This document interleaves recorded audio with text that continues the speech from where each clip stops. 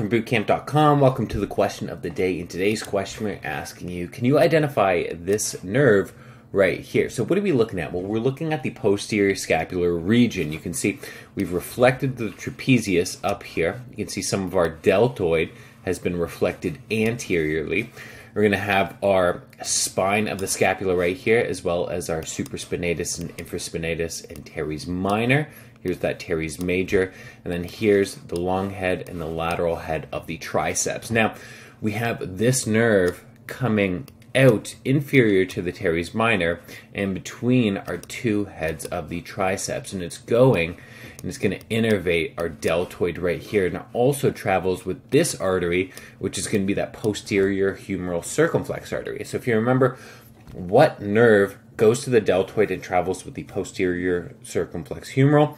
This is going to be the axillary nerve. So the correct answer is axillary nerve